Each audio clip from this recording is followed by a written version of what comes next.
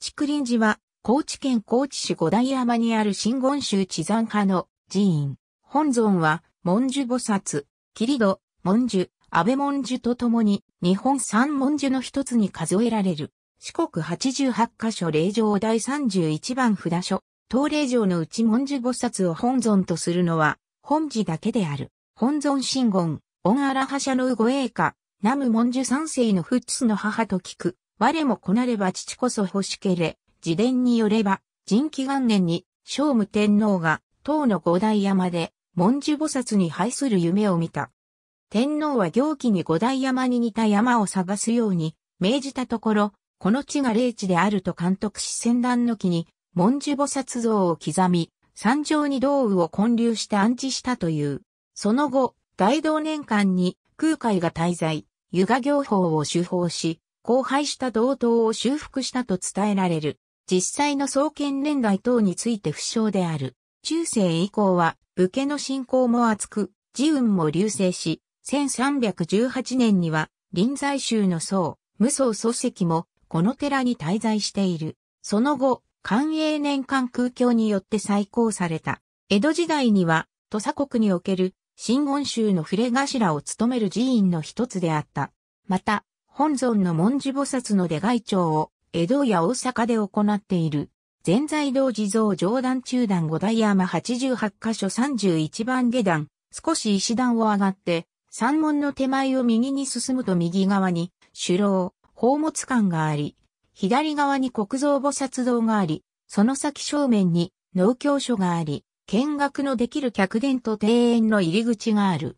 戻って山門をくぐり、山道を進み、石段を登り詰めると、ブロンズ製の全財道地蔵が立っていて、その上の高台に五重塔がそびえ、左手に大師堂があり、右に進むと本堂が立つ。本堂の手前を左に行くと、ブッダドームがあり、その周辺が巡りの森である。その右の丘に、稲荷社、小安地蔵祠、淡島明神祠があり、さらに奥まで進むと奥の院とされている、船岡堂がある。本堂の右手奥に進むと換気天堂があり、大師堂の右裏手に一言地蔵がある。本堂本堂平面図重要文化財入りもや作り、武器、桁行き、張間とも五件。扉に三カラトを用い、タルキを扇タルキとし、組物はに手先の爪組とするなど、細部には禅宗様建築の衣装が用いられている。内部は中央の型三件を内陣、その前方を内陣、両脇を脇陣、後方を後陣とする。内陣には本尊文殊菩薩像を安置する図紙を置き、内外陣の境には瞳を入れる。建立年代は同じ高知県内の土佐国分寺近道との比較から室町時代と推定されている。獅子状の蓮華座に座す、文殊菩薩像と四区の自社像からなる。角像と木スの木の一木像、彩色、平安時代後期。造高は文殊菩薩 60.4cm、全財道寺 76.0cm、腕王 75.4cm、仏壇張三蔵 76.8cm、最小老人 77.3cm。文殊菩薩像は50年に一度回避の秘仏で、1983年に特別回避があり、その後2014年の春秋に開帳された。なお、文殊菩薩の台座の獅子像は2体あり、平安時代後期の獅子像は、自社像4体と宝物館に安置され常時拝観でき、江戸時代に奉納された獅子像は、秘仏文殊菩薩像とともに、本堂宮殿内に収められている。名称権指定保護有形文化財、バス道路船岡道船岡道廃仏希釈によって、廃れていた竹林寺の再興に努力した明治中期の住職船岡方針和尚にちなんだ道。